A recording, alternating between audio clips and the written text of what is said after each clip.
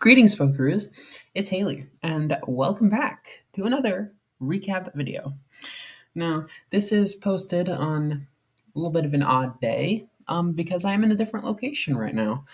Uh, I am uh, in a different state recording this video because I'm with my mom and sisters right now. Uh, so that's why it's a bit off on the schedule, but the content is going to be the same. This is the out of town meetup that I went to right before I left for here and as usual, there are some good moves and some bad moves. And let's just get into it. So let's open up this review here and hop into the game. So, first off, I matched up against Jim. The only other game I played against Jim previously was that one game where the people were spectating and like they touched my queen and moved it to g5 at some point and we had to quit that game in the middle because it was running past time. So, we don't have any results against each other yet. So, let's see what happens. So, I go e4 as one does and we get into a Vienna. This is my favorite opening when I against e4, e5, except for maybe the Ponziani. Um, and I play it because not a lot of people are prepared for it, but unfortunately, Jim was a little bit prepared for it because he played knight c6, and of course I play bishop c4 because I want him to play this so I can go into these sorts of lines. But after the game, he told me that he explicitly didn't play this because he knew about this line and how tricky it was for black to prove anything in that line. So instead, he played queen to g5, which has a very clear idea. And that idea is to attack the pawn on g2 and sort of constrain my options for development. But the funny thing is, I don't have to defend that pawn at all because there is a ridiculous continuation here. If black listens to the siren song and takes the pawn on g2, they are immediately losing after rook to g1. Because after the queen goes to h3, audience moment, there is a very forcing sacrifice that either wins a pawn and ruins the king's protection or straight up wins a queen. And if we're able to figure it out, the answer is bishop takes f7 check. And if the king takes, the knight hops forward with a fork on king and queen. And if the king doesn't take, then that you just attack the queen the queen goes to h6, and then you just play d4, and the king can't castle, the bishop is just in here, you're striking at the center, you're completely winning. Like, how can you even complain here? But I didn't see that because I was like, knight f3, he going to take g2. So I just play queen f3. I defend the pawn and I threaten my own checkmate in two, right? So if he does nothing, then queen f7 and queen takes bishop is checkmate. So of course that he he spotted that and played knight f6. So now we have just a normal chess position, you know. Now we have a normal position. d3 I attack the queen, right? So the queen moves. Then I develop the knight here because I did not very much like the idea of playing knight h3 because a there's knight d4 which is going to be a very powerful move in a lot of circumstances in this game but also i didn't really like my knight didn't have any prospects from the square but on g2 it could go here it could possibly help with f4 it could possibly help with d4 at some point. It just has a lot more options. And i also prevent knight to d4 and by the way, the reason why knight to d4 in that position would be so powerful is because it hits the queen and it threatens c2. And if the queen goes back and defends c2, then queen takes g2 is super deadly because you can't even play queen f3 to defend the rook through the queen because the knight guards that square. So your best move is literally to lose the bishop. Your best move is to lose the bishop for this and then lose the rook. But the, black doesn't even have to take the bishop. Black can just take this, and if this, then black can take the knight, obviously. So it's just really bad. But uh, he didn't. Uh, I guess he maybe saw that, but yeah, a3 and takes. And again, taking with the knight is bad for what reason? Audience moment. Why is taking with the knight bad? What does that allow? We just talked about it. And if you're able to figure it out, it's knight d4 again threatening this. and this and this. So I play b takes c3, controlling his knight, and now I am a little bit better. Castles, castles. We both decide to castle. Apparently, the computer wanted me to just start launching an attack towards his queen, which definitely makes sense because it is completely running out of space. Like, if I play h4, h5 literally threatens to trap the queen on the spot. So he has to react to that. But I castle, you know, nothing wrong with that. d6, just opening up and possibly preparing to come down here. Bishop to b2 my goal is to is to play at some point this and try to fix my pawn structure and play in the center. But what i did forget um is that this is a bit slow and he can just find some things to do like including this bishop e6 idea to try to open up the rook on my queen is something that he could do also he could just go something like uh he could just like move a rook to the middle or just do something productive like that because even if I play this, he doesn't have to take, right? He doesn't have to take, and he can play like knight a5 if my opponent's up here. So the the, the the deal is he has lots of options to play against that. Bishop to g4 is played, and queen e3, and then he takes. Um, not really sure why he did that. Um, the computer prefers this bishop e6, trying to open up the rook.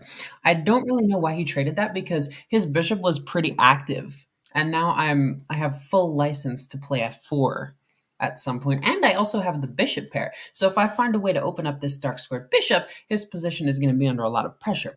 Knight a5 just tries to hit that bishop and of course triple my pawns, but I'm not going to allow that.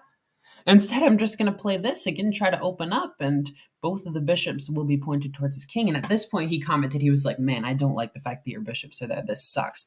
I'm going to go here to try to play knight f4. And in this position, I'm just like, yeah, d4. d4, I'm trying to open up the bishops. If you play knight f4, I'm going to go queen f3. I'm I'm going to go queen f3. That's that's the idea. Because he was threatening mate on g2. So d4, and he plays a very strange move. He goes king h8. He just chooses this time to get out of this bishop's pin on that pawn so he could maybe play f5 himself, I guess. Takes and knight f4, he throws in the intermezzo and then takes back. And his knight is now fastened in by that pawn, and he is ready to contest the open file. So I, I don't really have an advantage at all. I mean, you can argue that this knight is a little bit misplaced, but in two moves, it can reroute itself over here and possibly play some part in helping him open up on the king side. c4, I'm trying to block out the knight while attempting to open up this pawn, and I'm hitting this. I opened up my bishop's attack on this. Knight c6, and I come up with a little fun trick here, which is bishop takes e5. Because if takes, then I take this. But what was better, apparently, was c5. Why? Absolutely no idea. This I don't really understand why this move is so powerful. The bishop takes e5. I guess the idea is that there's knight takes g2 and now this is attacked, and there is a discovery threat on the king, so bishop g3 has to be played, and then there's knight h4 attacking the queen, exploiting the pin on the bishop because the pawn was taken, and when the queen moves to f4, there is this absolutely unholy move. Knight e5! this, I, this wasn't even an audience moment just because it's so ridiculous and hard to spot. The point is that if the queen takes, the knight hops in with a fork on king and queen. And if the, and, uh, right, if let's say, um, Right. So yeah, obviously this. And there's like other threats, right? So you have to deal with it because both knights are are threatening that check square. So it's really bad. And the best move is f3 to stop the knight from taking that pawn. And then you would go queen to, sorry, you would go queen to b6 and sort of continue the attack here with stuff like this as black. But he takes the knight and I take. So I'm up a pawn. I'm like, wow, I'm a genius. I won a pawn. f6 defends the knight. Then rook f to d1, I just control the file. He goes here, and I go here just winning a tempo on his pawn. He plays b6. I feel like I'm doing pretty well at this point in time.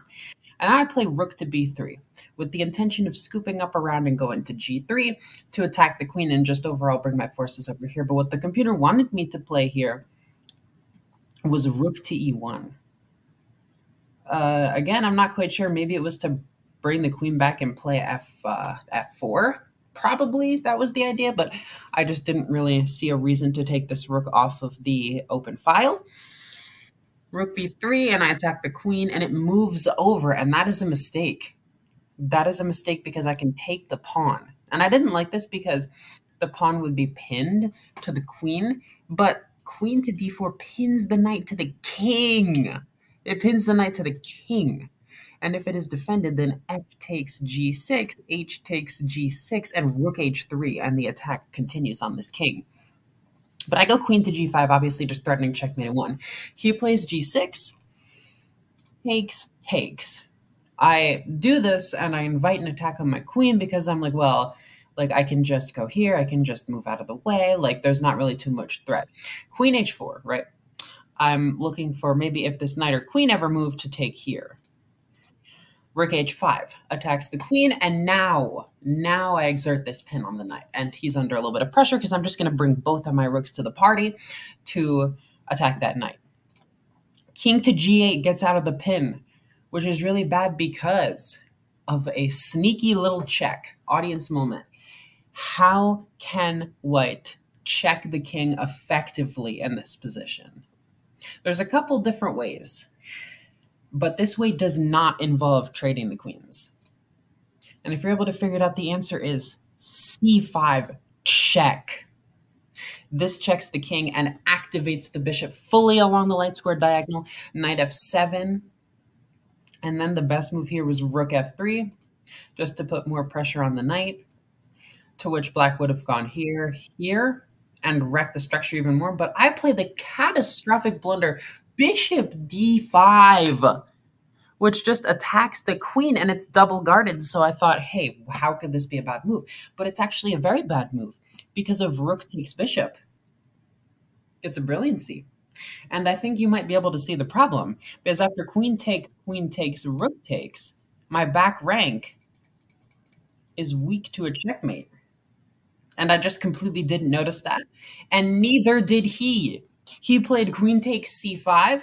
I quickly exchanged the knights, checked, exchanged the rooks, and then checked here. This was a bit hurried.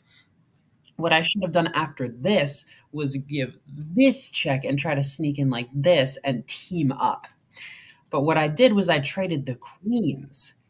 And the issue, as always, is my back rank. Um, he could he can't really go here because then he blocks the rook, and I'm actually able to take either one of these pawns. Uh, but if he plays this and I trade, he's winning. He's winning because it's a three on two over here. So yeah, here we are back at this position. My computer had a few issues there. Um, but yeah, he's winning because he has a three on two over on the queen side. And he's he's going to show me exactly how he plans to use that to win. F4, I'm trying to get my king active as quick as possible, but it's just too little too late, unfortunately. A5, he does do this a bit sloppily. King F2, King E6. And I should have played it C4. I should have played the pawn to C4 because this halts a lot of progress over here. And if he tries to play here to shove the pawn through, then I can go here, right? And by the time this happens, I can go king here, completely sacrifice this pawn, and go king to D4 and I'm going to pick these up and then push my side pawn. So I have ways to fight back. But the way I do it in the game is king f3, a4, I go king e4, right? I take the opposition. b5, c3. Okay, so the reason why I went c3 was because I thought he was going to go here and try to create a passer on the A file. So I wanted to make sure that he can't play this. But in going c3, he can go here anyway. He can he can just do that anyway. Because after this, he can go b4. And I was like, yeah, I can't take with this pawn because he goes here, but what about this? the pawn gets through. But after c5, g4, he plays h6, and I think I'm winning. I am actually just drawing after king to d3 because I get to the pawns. So after king d3, he plays this, this, this. I'm able to stop the pawn. But f5 takes, takes, king f6, and king here, I go the wrong way. I go to d5 instead of to d3. And by the way, d3 is still losing in this position um, because of king takes f5, and then he's going to walk down here and push this pawn. So, yeah, it's pretty complicated. But yeah, king d5, b4, here, here, here. He pushes, and I resign. Oh my god. He played that endgame pretty sloppily. Um, but I just didn't convert. I I just did not punish him for his mistakes, and I ended up underestimating a pawn breakthrough. Isn't that fantastic? So I officially had one loss against Jim going into this game, and we played another game, obviously in the tradition of these meetups, with swapped colors. So I thought I was able gonna gonna be able to break out my Caro-Kann against him, but he plays d4. So I'm like, well, let's go into a Queen's Gambit maybe, but no, no. He, like Shane, the other guy that I've been teaching the Caro-Kann at this meetup, he, like Shane, is a London player. and I've mentioned this before. I do not like playing against the London because it is such a solid setup that no matter what you do against it, it's just going to be for naught. And I am like kind of messing up my opening already because I was thinking about that last game and I just like moved the pawn to e6 without even thinking. And then I was just like, wait, I shouldn't have done that. I should have played bishop f5 first. And it's not a blunder because the bishop can go to d7 very happily, but I was just not even thinking because I was just distracted thinking about that last game. And I get into this position after bishop d6, bishop g3 castles, knight b to d2. And watch what happens here. c6. I just like the, the, everybody knows that against the London, you look for this kind of exchange to just open up on the center, play knight c6, rook e1, and occupy e5. Like this is just basic stuff here. I don't know why I didn't do that. I just played c6. I played c6 to reinforce the pawn and play knight b to d7 at some point, but this pawn that, doesn't need to be reinforced because it's not under any form of attack at all. And he plays c3, and me still being distracted, am like, okay, so I have a couple pieces over here that I need to develop. I could go here, but then this. I could go here, but then I can't go here. So I'm going to go here. And maybe play rook here and wrap the knight around. Do you see the problem with that? I'm not even going to make this an audience moment because I respect my viewers more than that. I trust that they would know why this is a blunder without me having to explain it. But that just loses the bishop. And Jim did not see that. And instead he played queen c2.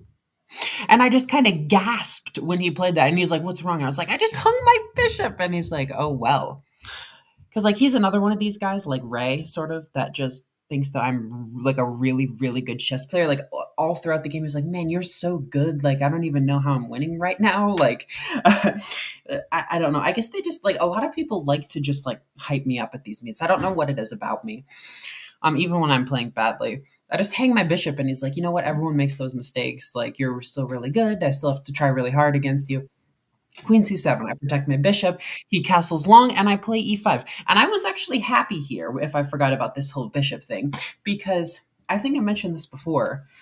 In the London, as black, when you're playing against the London, you want to be able to play e5. And it's white's goal to try to prevent you from playing e5 and maybe put a knight there at some point. So if black gets to play e5, they are better. And the computer agrees. So I was happy because I'm going to play e5. I'm fighting for the center, and then I might push here and just block off everything like here. So he takes, I take, and we get an exchange. And I just occupy the center so much more than he does. I have more development and easy routes to become really active, and he has to he has to take a while. And he he messes it up even more by playing f4. And the problem with this move is that it weakens this tremendously and it doesn't contribute to development. So I can just move back and then play rook e8, bishop c5, and knight g4 and just completely increase the pressure on that pawn. And that's actually exactly what I think, what I begin doing. Knight gf3, rook e8, rook e8 uh, attacking the pawn, then bishop c5 attacking the pawn again. He goes knight to f1 and I play uh, bishop to g4. I'm really not sure why I played bishop there instead of knight here. But I think the reason is because I was afraid that he might be able to play this. But I just have, at the end of that line, I have queen takes f4. And I saw that. So I, I literally calculated that at some point. I don't remember exactly when, but I calculated that. I don't know why I played bishop to g4 instead. I really don't know because even if I get this takes, it's just going to open up the rook on my king. I don't know what I was thinking. Knight to e5. He is trying to instigate some trades, and I allow him to instigate the trades, and this actually blunders a drawing move here. Now, audience moment. What is a bishop sacrifice or i just completely ruined it.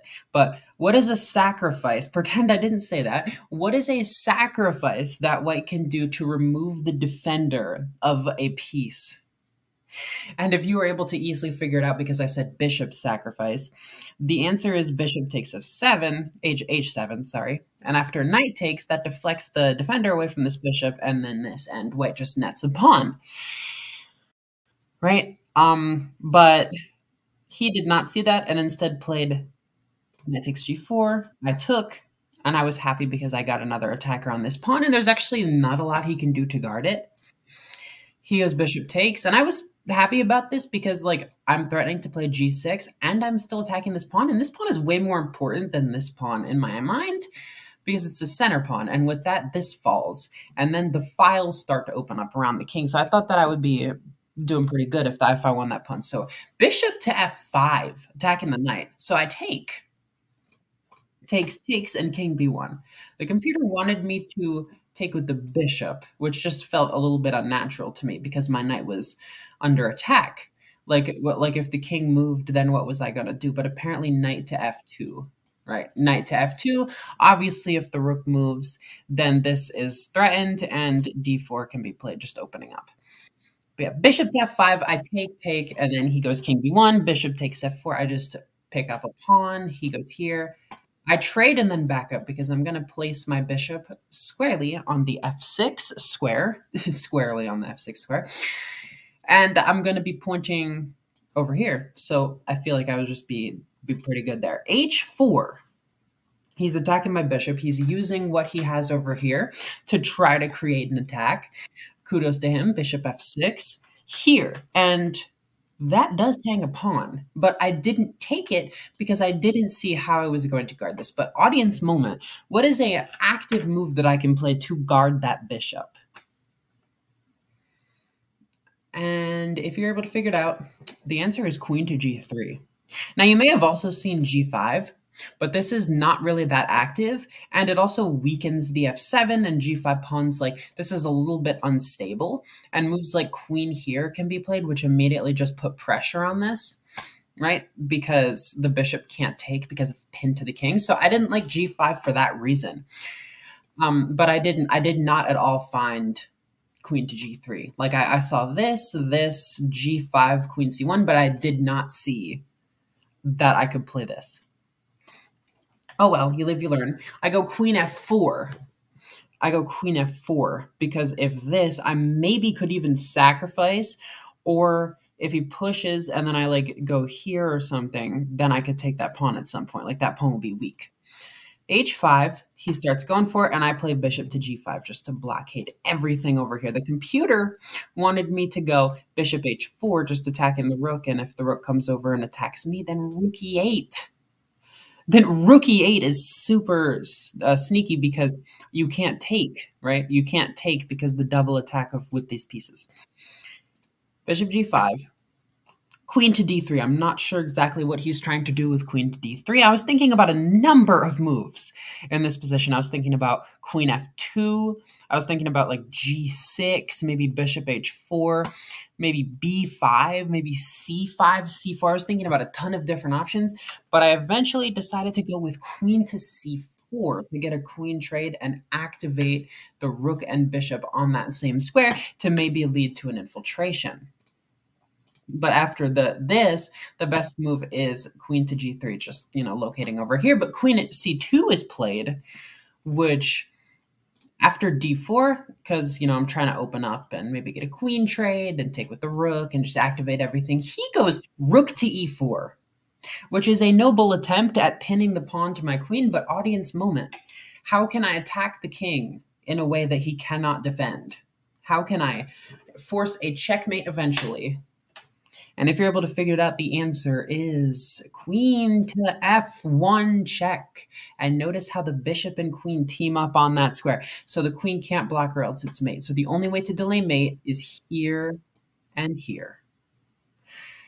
And I saw that, of course, because I played it, and he resigned. So I'm one and one against Jim. Good news. I don't have a losing record against Jim. But bad news.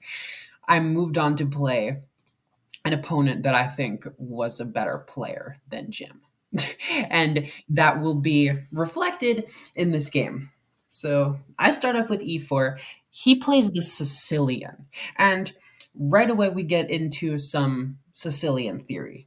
Knight f3, d6, d4, c takes, knight takes d4, knight f6, knight c3, g6, bishop b3, bishop g7, f3, castles, right? This is all theory. This has all been played millions of times, like literally millions. This is one of the most well-known variations, especially at beginner and intermediate level in the Sicilian. I even taught my uncle this line uh, a couple weeks ago because it's so powerful for beginners. The Dragon Sicilian, right?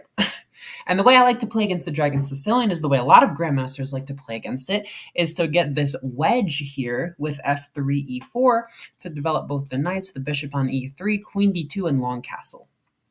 But unfortunately, I mixed up. I mixed it up a little bit.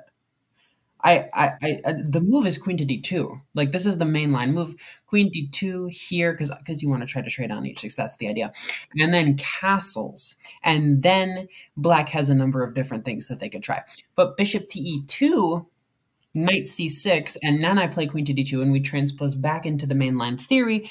And the most testing move, I was very impressed that he knew this. And right away, right after he played this move, I knew that I was dealing with a very good player. He plays the cutting edge modern theory best move d5. Now, this move just basically strikes white exactly where it hurts. This pawn wedge right here, this pawn chain, is the power of white's position because it blocks this knight, which therefore blocks the bishop from getting activated. But if black can activate this knight, then that activates all of their pieces towards my center. So I have to be very careful. And I can't just go here because the knight is on c6. Like if d5 had been played when the knight was on b8, I could just push and then maybe play f4, right? Um, but d5 right away is very testing. And actually, it's it's bad for white to take because knight takes d5, knight d5, queen d5, c4, right? Then black can play queen to d8, and the bishop, queen, and knight are active, and this rook will come to join the fray. And then maybe bishop to b7 will fianchetto over here. So right away after getting hit with d5 i messed up because nobody and i mean nobody at my rating online plays this against me. Nobody plays d5 this is what the grandmasters play. This has only really been studied in like the past 10 years this d5 move. This is like so modern. I'm very impressed that he knows this. But takes knight takes this is the best response for black just opening everything up. Knight takes c6 and then I castle. I get my prep very mixed up here because I'm already losing on the spot after bishop takes c3. I can't take with the queen, yes, but you're like, well, Hailey, you just take with the pawn. Audience moment. Find a move that threatens a massive attack on white's king. that tries to exploit a line that opened up by this pawn capture. And if you're able to figure it out, the answer is queen a5 double attacking this, threatening to come down here and threatening to come down here, possibly with a checkmate. There's just way too many things for white to deal with, and they're completely losing. But e6 is played. This is apparently the limit of my opponent's theoretical knowledge. I exchange because I didn't like that that piece is in the middle. His bishop is still quite active, but I do block his queen's lines, and these pawns I thought were a bit overextended. Also, his bishop and rooks are kind of awkwardly placed and not really well developed, so I kind of felt like I had a fighting chance here. Bishop to d4. The goal of this is to obviously trade and dominate the dark squares, but there is a critical flaw to this plan, and it is that after takes takes, he has a move that forks two very important pieces in my position. Audience moment find a forking move that he can play that for that forks two vulnerable pieces. And if we're able to figure it out, it's queen to g5 check, hitting the king and this pawn. And if the queen blocks, then this comes, right? Queen takes g2 and everything is pressured. I, I, I played queen d2 because after f4, I thought that this and this would both be hit, but bishop to d3 would just be the response there. But queen to d2, he plays queen g2, and I go here, queen f2. His queen is just sticking around here. He's going to play rook e8 and, ex and ex uh, exert extra pressure on that bishop, and I am in trouble. Like, I am already deeply in trouble because I did not like his opening knowledge was better than mine. And that is not something that usually happens. So what I did after this game was I studied that line with that, that D5 line, and now I know the best way to go against it for when I play him next or when I play someone who knows this line next. So H4, I figure the only thing that I can do is try to attack this hook here and activate my pieces to maybe try to checkmate on h7 or something. Rook to b8, this is just a very calm move, just activating towards my king. I continue with my attack. He plays bishop to f5, using the pawn while it still can be used as an anchor to activate his bishop. And also, if I take, he might even take back with the bishop instead of opening up the h file. So instead of allowing that, I play h6. And my goal here is to go queen c3 and maybe look for a Lolli checkmate on queen on g7, which is what that's called, by the way. When a queen checkmates a king in a square like this, guarded by a pawn, it's called the Lolli mate. I don't know why it's called that. But instead, after rook f to e8, I go rook e1. And you may be like, well, Hailey, didn't you say your idea was to go here and Lolli mate? Well, he has a very, very unfortunate defense against that. Audience moment, how can he guard against that threat using the least value piece possible? And if you're able to figure it out, the very simple answer is d4. And the bishop is still under threat. So I would have to play something like queen to c5, but he just takes here, he activates, everything is just pointing at my king, and it's literally imminent mate. Like he just placed his pieces so perfectly to help with this attack. So instead of playing queen c3, I played this because I saw d4. I defended my bishop. Then he goes here. And I played b3 because uh, I didn't like the fact that if I played some random move, he would be able to take and then take on b2. I was trying to avoid that. So I played b3. He took, I took, and then he went here because he's trying to double up bishop to d3. This trade is good for me because I activate my king closer to the middle, and his king is still kind of controlled by this pawn on h6, so that's kind of a boon for my position. Rook b to e8, trade, and then I go here because I want to sneak around and hit the a4 pawn, but oh, I missed another interesting idea by him here, which is g5. And if I go and hunt this pawn down, then he just takes on h6. He just takes on h6, and if I take on a7, then he's going to go rook h3, and if I guard the pawn, he's going to play g4, and I'm just completely losing. But instead, he goes uh, after rook to b4. I don't even attack this pawn because I'm like, huh, sometimes this gets the better of me, where I see a good move, and I try to find better. I'm like, well, here, and if I can get this, it's checkmate because he can't go down. But then he took on h6, and I was like, oh my god, Hailey, you absolute moron. Oh, so I just kind of went rook b7. He attacked this. I defended. Then he started pushing here. He doesn't even care about this. Because after I take this, he just pushes. King f2, g4. That that's that's bad news. That's that's bad news bears right there. Like I cannot guard that pawn. f5 here he pushes. I go here, but the game is still not over yet. Because after king e6, takes takes, rook to d2. Remember, the defensive rook is best placed on the second rank. Usually, king e5 is just getting his king more active, and I'm like, the only thing I have is to push this pawn because he can't scoop around over here and he can't protect this way. So he's gonna have to like run down here to go here. d4, b5. Here, a4. I've just I've got my pawns protected, right? So I at least have a mild prayer of winning. King c5. I protect the pawn, right? While still keeping the rook on the back rank and defending against any nonsense like this. Rook c3. Rook c3 is maybe looking for this in a rook trip, but he completely loses because of pawn to b6, which is what I play, and he can't. He's too slow to to stop the pawn. And if he goes here to try to scoop around here, here, or rook here, then I just promote and trade off. And you and the game that happened, and after rookie, I played a5. And then I played here because I didn't like, right? If this happened, but oh my god, why can't I today? I just can't click at all. Um, let's just delete that move.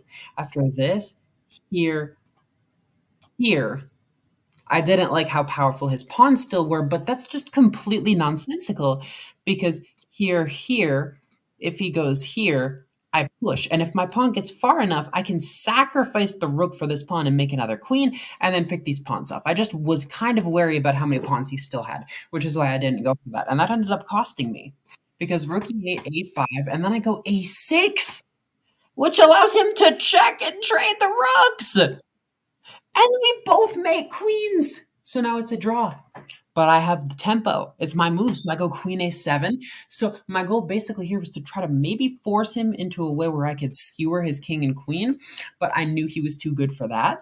Or just promote another queen in off tempo, right? Queen to d7. I take a pawn because I'm like, well, he can't check me here. And if he checks me here, I'm going to go here and run to h4, which is exactly, right? Which is exactly what happens. Then he pushes. And right now I have to start giving checks or I have to push, but I can't now because his queen guards that square. That's really sneaky. So I was like, well, how can I promote this pawn but also get this queen out of here? Oh, I know. Queen takes g4. Because takes, takes, he promotes, and I promote. You see a problem with that? My pawn is on a6, not a7. See, we were both at low time. So at this position, when I calculated trading the queens, I just looked briefly over at this side of the board because my eyes were mostly over here. So I looked briefly over at this side of the board and the, the pawn was, can you over the board? It's not always perfect piece placement. The pawn was a little bit like on the edge of the a6 square. So I looked over briefly at that side of the board. I was like, okay, I've got a pawn on a7, so I can trade queens and we both promote and it's a draw. But no, the pawn was on a6 and I resigned. Uh, that's an interesting way to lose a game, and it kind of shows you that piece placement over the board is, especially in low time scenarios where your brain doesn't have enough time to process, it's important. Um, and then we move into this last game, which is another game that I played against this same guy who was very good e4, c6, and I wanted to see how he played against the good old Caro-Kann. d4, d5, e5, and c5. I hit him with the Botvinnik Carls defense, or the beginner Caro-Kann, which is um, just the simpler variation that all beginners are taught to play. c6, and now there's two commonly accepted moves to be played here by black. First is takes, and then knight c6. But you could also just play knight c6, and after takes, then you take on e5. This, these are like the acceptable ways to play. So I play knight c6. This is just what I prefer here. And I get the queen out. I'm like, the, I don't know what was happening with my openings in this meet because I you have to play bishop f5, right? Bishop f5, e6, and then you could maybe go for queen b6 or c takes and then queen b6. But if you play queen b6 here, then takes and takes, right? And your queen is kind of just left out to dry here because after bishop to e3, the bishops cut out a significant number of squares for that queen to be able to retreat to. And after queen a5, which is the only safe square, b4 just further harasses the queen it has to go back to c7, and then the queen just takes on d5 and I just lose a pawn. So like I just massively, massively forked up my opening in the first six moves of the game. That's how like shook I was about these the, the games that I played before this. So queen a5, he doesn't go b4. Instead, he plays knight f3. So I just quickly get the bishop out. Uh, b4 is still a good move, by the way, because of this and he plays castles. I go e6. He plays knight b to d2. So he's just completely ignoring this b4 idea because maybe he thinks I can sacrifice or something. I don't know. Queen to c7. I just retreat and double attack the pawn. But the best move is still b4. Look at this. Because after knight takes, knight e5, queen e5, queen a4. And the king is way too open. King to d8, Bishop b6 check because of the pin on the rook. And that's the best move. Unbelievable. King e7, rook fe1. Preparing to move and hit this. Like, I'm just completely under a lot of pressure, but knight b to d2. He plays knight d4, which just hangs that pawn, but that wasn't the best move. I was supposed to play knight takes d4 so that he couldn't take on c6. But after queen takes c5, knight to f3, not knight to f3, knight 2, knight, the knight on 2 to f3 hits my queen, and I have to go back. And then he can take the bishop and split my pawns and double my f pawns. And normally this is like not a bad transformation for black, but these pawns are weak and they're not really preventing anything from occupying that square. So this is just a liability. And also, queen takes d5 is just a free pawn, like I've said many times before. And if I try to kick it out with this, then I just lose yet another pawn. But yeah, queen takes d5, and now we're even on pawns. Because if you will remember, I was up a pawn previously, right? Because I took the one on e5. But now he's back even and I play this, and this is just where things go from bad to worse. How can audience moment, how can white check my king and attack that pawn at the same time? And if you're able to figure it out, the answer is this. Boom and boom. And after I block, bishop takes f4, hits the queen. I go here. This is another one of those situations where knight f6 was one of the best moves by the computer, but it still says it was an inaccuracy. This is like the only thing that I saw. Trading the queens. And by the way, if this queen was protected, that would not be an option for me, but that's just an equal value trade, and I thought this bishop was a bit misplaced. Bishop to d3, I go here. Knight c5, attacking the bishop. My next move is probably going to be knight e6 and attack this bishop. Bishop b5, castles. So I think I'm doing okay here despite being down a pawn and also just having lots of pressure on these files. I just, I think objectively I should have realized that white was better, but I didn't. I, uh, there attacks the bishop. 96 gets in the way of the rook's attack on the bishop and also like kind of quote unquote attacks that bishop. Bishop back to g3 and then I go this is just an indicator of how tired and shook up I was by the previous games and my the, my the, my day so far. Because I'm like, okay, I'm gonna go f5 and go here because that traps the bishop. That was my thought process. But A, that just hangs the knight, which my opponent took. But also B, let's just say I got a pawn here. Bishop h4 doesn't doesn't trap the bishop at all because the knight defends it. And actually, bishop takes c6 and then rook takes e6 is the better option because rook takes bishop at the end of that. But yeah, neither one of the things I thought were true about that position was true about that position. And I end up just losing my knight. And I play on because I realized this is my last game of the day. I play on by going here and g5, which I thought trapped the bishop. But he can go here because, again, the knight guards the bishop. The knight guards the bishop, right? I'm just losing everything. Hold on. That was that was just my sister. Um, so I go here, right? Double attacking the bishops. This is like my last hope. My last possible hope to try to fight off, but there is a very devastating move that he plays. Bishop c4 and everything is guarded. And he's setting up uh, discovery threats on my king, and I just resign in this position. I, I just resign because I'm like, look, I'm not going to play this position where I'm down five points of material, and I have massive threats against my king. And that's so that's it for the meet games. But we also have this fun game that I played against my uncle. Remember, like a while ago, I posted the video about teaching him how to play chess. So we had a bit of a weird game. We played over the board one day, and we have a couple cats at the house. And one of them was walking across the board while we were playing.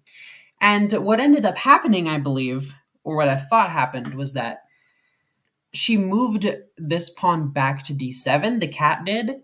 So at one point, white got two moves in a row.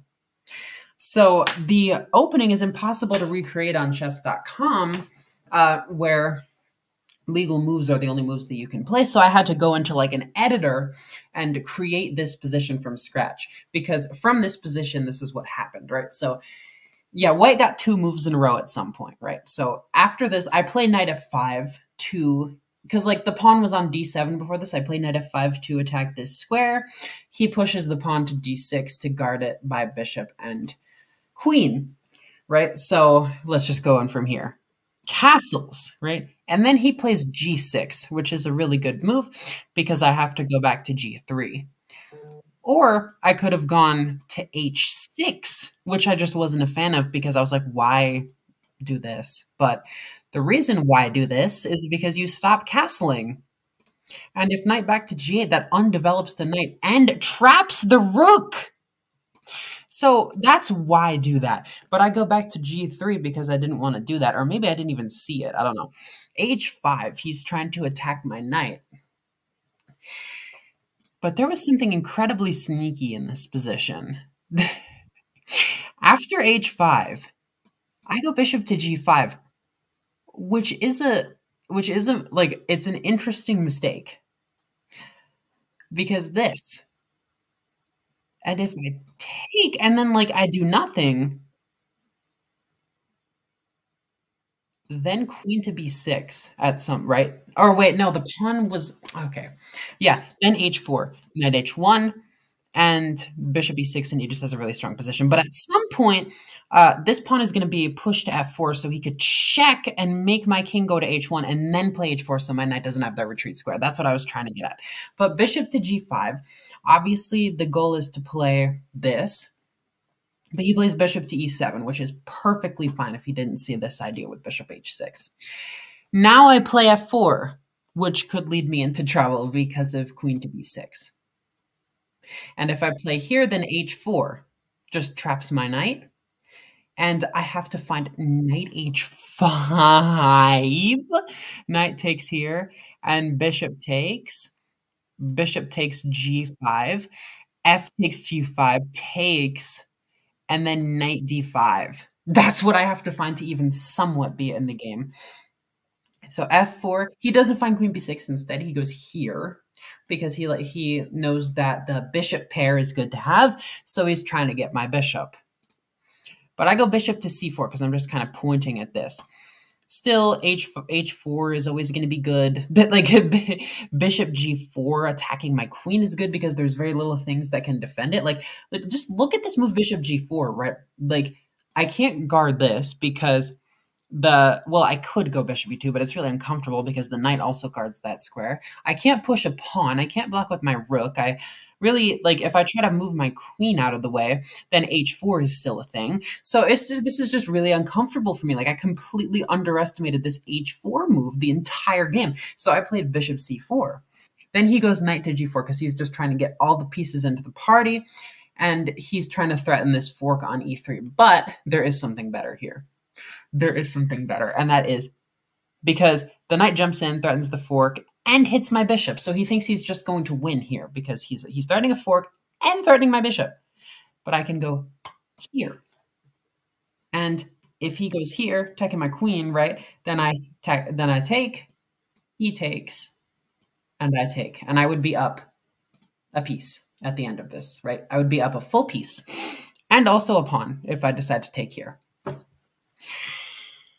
Right, so knight g4. The best move, by the way, um, the computer is arguing about is bishop takes here because after king takes, pawn takes opens up a check on that. That's why I played f4 because I was trying to open up the rook on that king. But this is another one of those circumstances where the best move is labeled as an inaccuracy by the computer. I really don't know why that happens. Like it's really, really strange. Queen takes, and then I take, by the way. If I jumped into d5 right now, this is a massive, massive blunder. Audience moment. What is a move that black can do to get out of the threat and create a checkmate threat on my king? And if you're able to figure it out, the answer is queen to h4 getting out of the threat and attacking h2.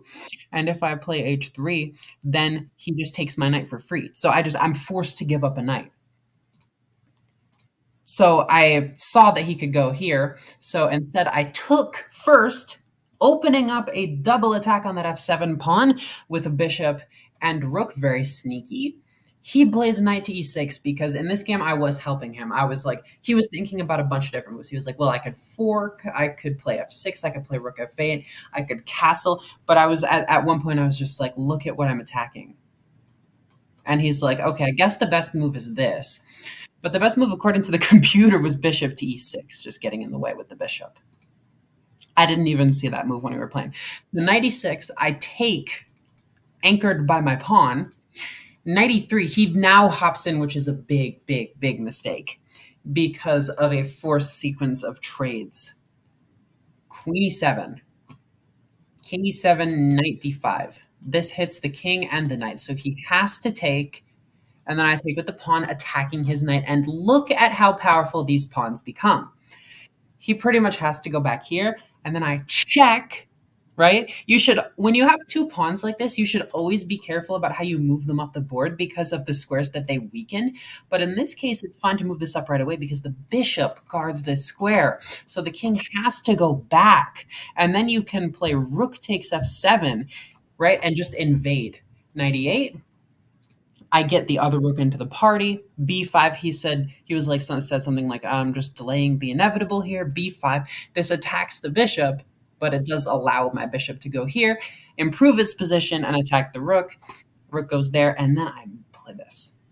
Because I see that if with my knight on this square, I have two possible checks if this bishop were to be traded. Bishop f5. And I sacrifice. I just get rid of that bishop because that bishop is the most annoying piece. And if I can get the rook here and the knight here and here, that would be almost mate. Rook h7, and I have to make a couple of preparatory moves to try to checkmate this king, right? Knight to c5 just gets my knight in the optimal position. Then here, then I play knight e6 check, right? And if he comes down, then I have a fork. I just pick up the rook. He takes the free pawn. Then I go here.